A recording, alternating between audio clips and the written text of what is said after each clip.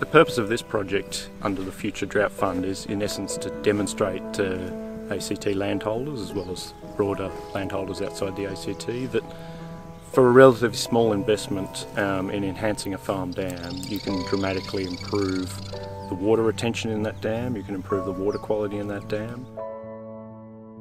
Part of a, a rebuilding of the environment in, around the dam is to allow the water uh, to be clean, cleansed by the plants and uh, life in the dam and uh, turn them into great habitat that we hope to attract more and more uh, species of everything back to these dams.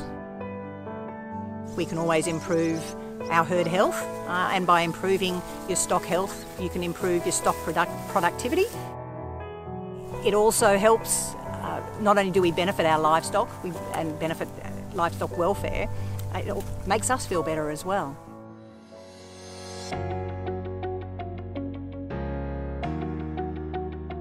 Healthy farm dams greatly benefit the properties that host them, not just the landscape and biodiversity, but the livestock as well. With support from the Commonwealth Future Drought Fund, the ACT Government has established a program to assist landholders to reconsider how they manage their dams.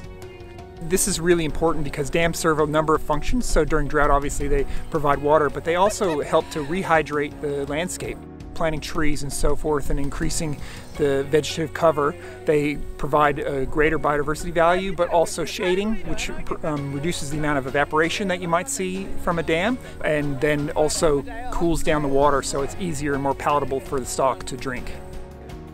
These environments can be greatly enhanced by strategically fencing them off from livestock. In many cases, farm dams sit along historic watercourses.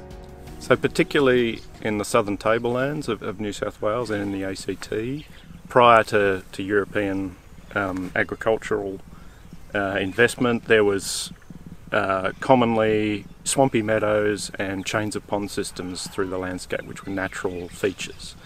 And a lot of those systems have been have been lost over time due to erosion and incision and drainage of those of those watercourses. So those features, in essence, have been have been superseded or supplanted by farm dams, which have become a ubiquitous feature of the landscape. Now those dams have the, the, capacity to function if they're enhanced in the same way that those chains of pond systems would have worked in the past, which is filtering watercourses, providing habitat for frogs and invertebrates, providing bird habitat, and retaining water in the landscape over a longer period of time. Enhancing their farm dams has proved highly successful for the Lilleyman family, who have cattle and pastured chickens on their Cambar property. John and Carol were newcomers to farming when they acquired the property in 2012, but were eager for their agricultural business to be as environmentally friendly as possible. When we arrived here, the purpose was uh, of the dams was to provide water for stock, and uh, since we replaced uh, uh, stock water with nice clean fresh water, that reason has gone away. So we fenced out the dams once once we could uh, give good fresh water to the cattle and the hens. The trough system works really well. It was part one of the first things we did was to get to divide the paddocks so we could do some of the rotational grazing. So we put electric fences in and took out all the barbed wire um, and put trough lines underneath all of the fences. It means that the cows can go into small cell and get clean water all the time. So this is another reason to, yes, just try and restore the farm a bit from what it was when we bought it. This is one of four dams that we fenced out in 2017, shortly after we introduced uh, piped water and troughs for the cattle. It was pretty pretty eroded, lots of bare banks, love grass, and extremely dirty water as well. So uh, after we got got the trough water in, we sort of looked around and went, why don't we do something about these, turn them into something positive? So this is something, Kyeelee, we did um, in 2017. Yeah.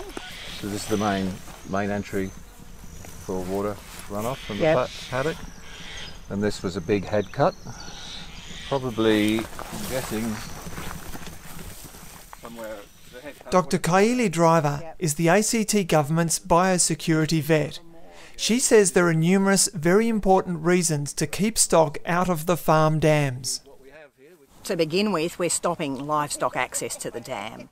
Livestock love to get into the water. Cows tend to poo even more when they're standing in the water. So then we've now got all this organic matter from the cow going into the water, as well as them destroying the bank, which therefore you know promotes erosion when we do eventually get rain. If we're in a drought situation and we're losing water from that dam and, and it's, it's evaporating, then we've got mud and we've got misadventure you know, animals go into that mud, and I don't know if anyone's tried to walk through dams with well- Wellingtons on, but your feet get stuck, and animals are just the same. It's also when you uh, get less water in the dam, the contaminants, the organic matter uh, is all condensed and you know concentrated. Uh, you get increased temperature in the water.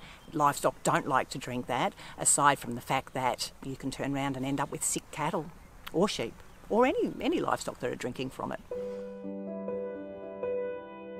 The principles of good dam management have been around for a long time, but just recently the research unit of sustainable farms at ANU have basically shown that uh, you get almost um, immediate improvements in the function of the dam as soon as you um, start to enhance it by excluding stock and encouraging um, the use of the dam by other organisms.